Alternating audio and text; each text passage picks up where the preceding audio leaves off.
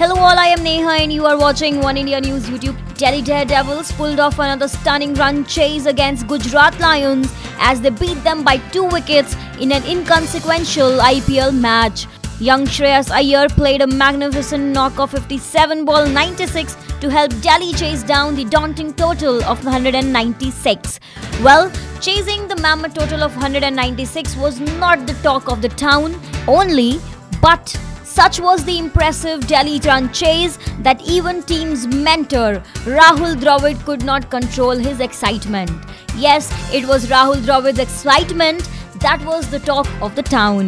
More than the Delhi Daredevils run chase. Well, yes, Dravid, who is known for his calm and composed nature, was jubilant with the way team played against Gujarat and Twitterati couldn't control their happiness watching Dravid's animated celebration in such a manner. A fan shared the image of Delhi Daredevil's mentor and former India captain Rahul Dravid's the manner in which he reacted after Delhi's win.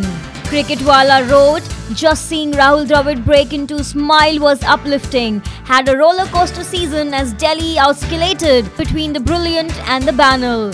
One more fan wrote, You never saw Rahul Dravid so happy that he actually gave a high five to someone. Delhi won another match against rising Pune Super Giants last night by 7 runs and made their team mentor Rahul Dravid more proud.